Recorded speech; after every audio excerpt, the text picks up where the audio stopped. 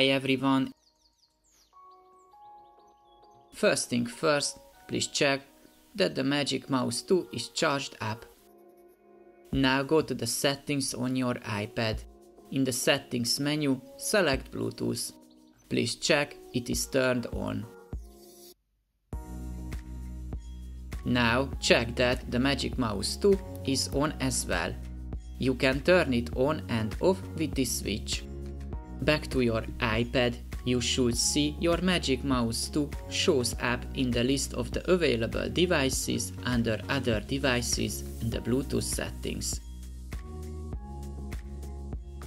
That's it, we are done. At the end of my video, let me ask you a small favor. As you can see, most of my viewers are not subscribed. If you find my video helpful, please take a second to give a like and click on the subscribe button to help my videos reach more people.